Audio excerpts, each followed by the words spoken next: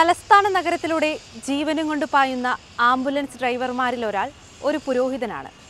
നിഷ്പക കർമ്മലീത സഭ മലബാർ പ്രൊവിൻസിന് കീഴിലുള്ള Thiruvananthapuram Benziger home director father Joseph Chakkalakudiyil സമർപ്പിത ജീവിതം എന്തെന്ന് അടയാളപ്പെടുത്തുന്നത് കർമ്മം കൊണ്ടാണ്. കർമ്മം കൊണ്ട് മാതൃക തീർത്ത പുരോഹിതൻ. അദ്ദേഹത്തിന്റെ ജീവിത കഥയിലേക്ക്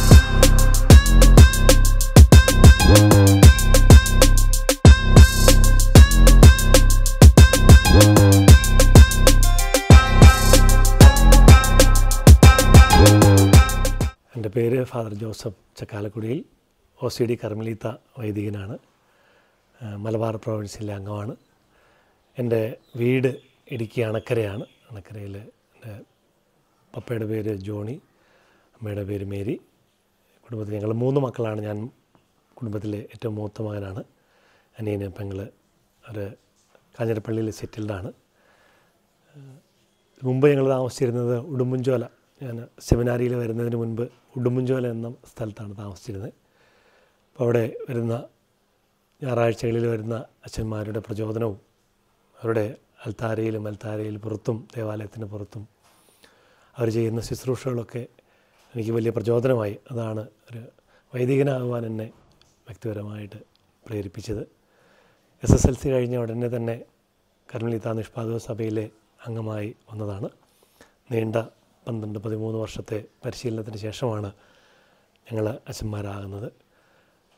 അതിനുശേഷം ഞങ്ങൾക്ക് പല മിഷൻ സ്റ്റേഷനുകളും പല കമ്മ്യൂണിറ്റീസും ഒക്കെ കേരളത്തിലും കേരളത്തിന് പുറത്തുമുണ്ട്. ഒരു ത്രിയേനിയം മൂന്ന് വർഷം അല്ലെങ്കിൽ ആറ് വർഷമൊക്കെയാണ് ഒരു സമൂഹത്തിൽ ഞങ്ങൾ സാധാരണയായി ശുശ്രൂഷ ചെയ്യുന്നത്. അത് കഴിഞ്ഞ് അടുത്ത സമൂഹത്തിലേക്ക് പോകും. ഓരോ സ്ഥലത്തിന്റെ ആവശ്യങ്ങളനുസരിച്ചാണ് ഞങ്ങൾ അംഗങ്ങൾ മാറുന്നത്. ഇതൊക്കെയാണ് ഒരു വൈദികൻ എന്ന നിലയിലുള്ള എന്റെ യാത്രയിൽ എനിക്ക് പരിചയപ്പെടുത്തുവാനും പറയുവാനുമുള്ളത്. ഈ ശുശ്രൂഷ രംഗത്ത് എനിക്ക് ഏറ്റവും കൂടുതലായിട്ട് ഇഷ്ടപ്പെട്ട ഒരു വചനഭാവം യോനാന്റെ സുവിശേഷം മൂന്നാം അധ്യായം പതിനെട്ടാം വാക്യം. ദൈവം തന്റെ പുത്രനെ ലോകത്തിലേക്ക് അയക്കുവാൻ തക്ക വിധം ദൈവം ലോകത്തെ അത്ര അധികമായി സ്നേഹിച്ചു. ഇതൊരു വലിയ പ്രചോദനമാണ് നമ്മുടെ ഓരോരുത്തരുടെയും ജീവിതത്തിൽ. ദൈവം ലോകത്തെ സ്നേഹിക്കുന്നുണ്ട്. ശിക്ഷയ്ക്ക് വിധിക്കുവാനോ സങ്കടപ്പെടുന്നവരുടെ സങ്കടങ്ങൾ കാണാതിരിക്കുന്ന ഒരു ദൈവമല്ല നമുക്കുള്ളത്. പ്രത്യുത നമുക്ക് മുൻപേ നമ്മോടൊപ്പം നമുക്ക് വേണ്ടി പീഡകൾ സഹിച്ച് കുരിശിൽ മരിച്ച് ലോകത്തെ മുഴുവൻ വീണ്ടെടുക്കുന്നതിനായി തന്നെ തന്നെ നൽകിയ കർത്താവിനെയാണ് നാം പ്രഘോഷിക്കുക.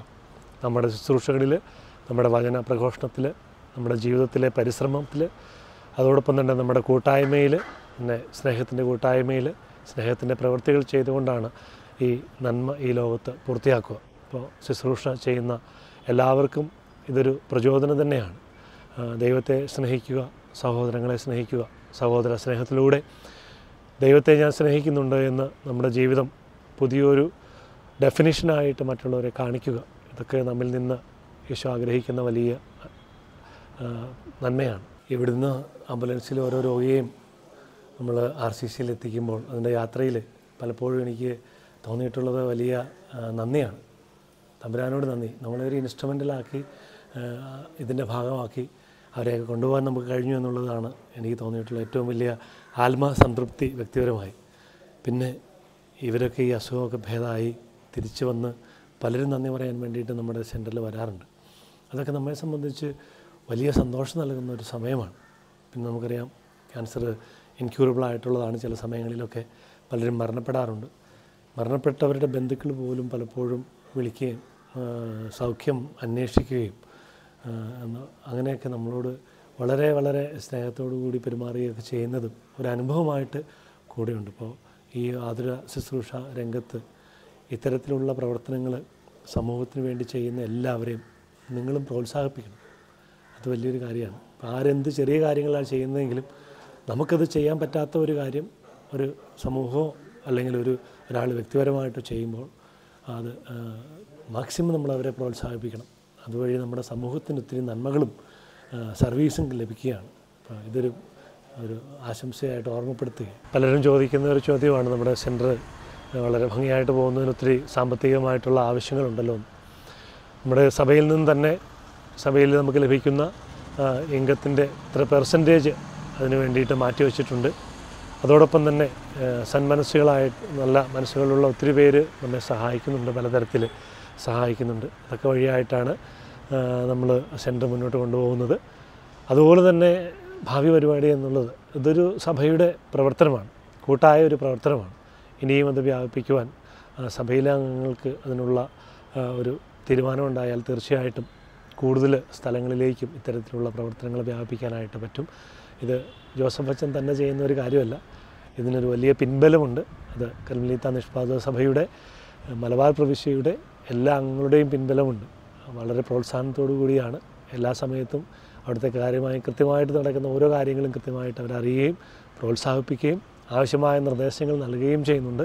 അങ്ങനെയാണ് ആ സെന്റർ വിജയത്തിൽ പോകുന്നത്. പഠനം സന്യാസത്തിൽ സ്വാഭാവികമാണ്.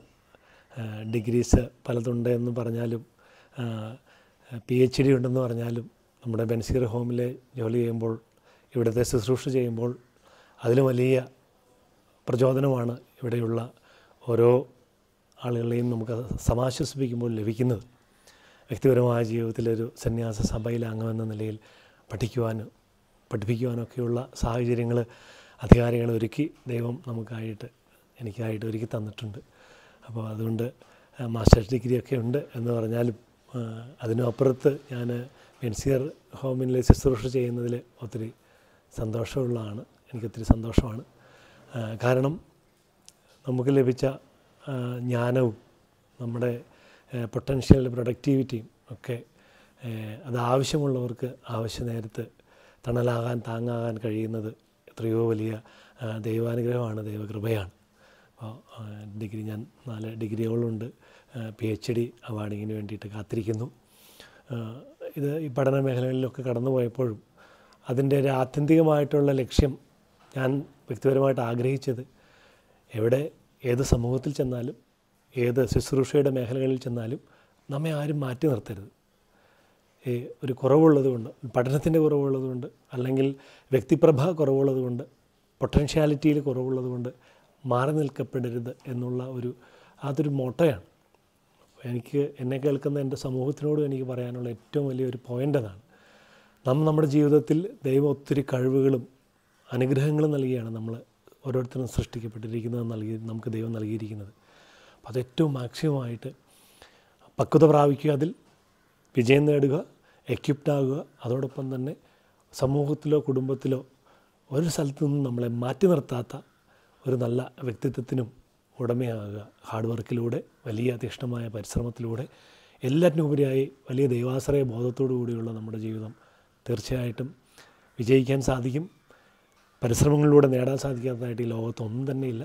ഇതിനെല്ലാം ഉപരിയായി ഇങ്ങനെയൊക്കെയുള്ള സ്ഥലങ്ങളിലെ നമ്മുടെ ശുശ്രൂഷ ജീവിതം നമുക്കൊത്തിരി ആത്മ സംതൃപ്തിയും പ്രചോദനവും നമുക്ക് നൽകുന്നതാണ്. നമ്മുടെ ഇവിടുന്ന് ആംബുലൻസ് നമ്മുടെ തൊട്ടടുത്തുള്ള അസോസിയേഷനിലും തൊട്ടടുത്തുള്ള ആ, ഇന്ദിരാനഗർ ഇങ്ങനെയുള്ള സ്ഥലങ്ങളിൽ നിന്നൊക്കെയുള്ള പലരും നൈറ്റിലും പല സമയത്തൊക്കെ നമ്മളെ സഹായത്തിന് വിളിക്കാറുണ്ട്. മെഡിക്കൽ കോളേജിലോ മറ്റേതെങ്കിലും ഹോസ്പിറ്റലിൽ കൊണ്ടുപോകാൻ വേണ്ടിയിട്ട് വിളിക്കാറുണ്ട്. അതിനുവേണ്ടി നമ്മൾ പോകാറുണ്ട്. അവിടെ നമ്മുടെ സെന്ററിനുള്ളിലെ തന്നെ രോഗികളൊക്കെ രാത്രിയിൽ പലപ്പോഴും പെട്ടെന്ന് എന്തെങ്കിലും ബുദ്ധിമുട്ടുകളോ വേദനയൊക്കെ ഉണ്ടായിക്കഴിഞ്ഞാൽ നമ്മൾ പെട്ടെന്ന് എത്തിക്കും. നമ്മുടെ അവിടെ വർക്ക് ചെയ്യുന്ന ഒരു സഹോദരനും കൂടെ ഉണ്ട്.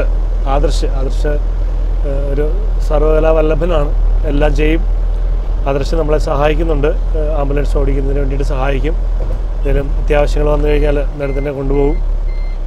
അങ്ങനെയൊക്കെയുള്ള ഒരു ഒരു സാഹചര്യത്തിലാണ്. അതുകൊണ്ട് നമുക്ക് ആംബുലൻസ് ബെൻസീർ ഹോമിലുള്ള വരുന്നവർക്ക് വേണ്ടിയിട്ട് മാത്രമുള്ളതല്ല.